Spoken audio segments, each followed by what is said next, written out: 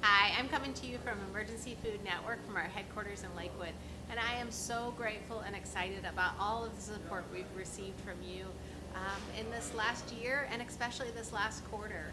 Uh, currently, we have over 60 food drives going across the county. A lot of people have already donated. We had great success with our fundraising campaigns, our annual appeal, and Giving Tuesday.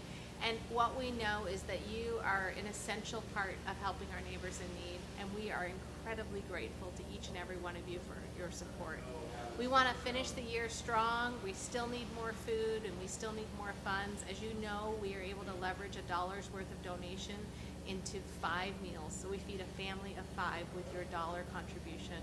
And really, what we know is we can't do this work without you. So thank you so much for all that you've already done. Happy holidays to you and yours. And thanks for being part of the Emergency Food Network family.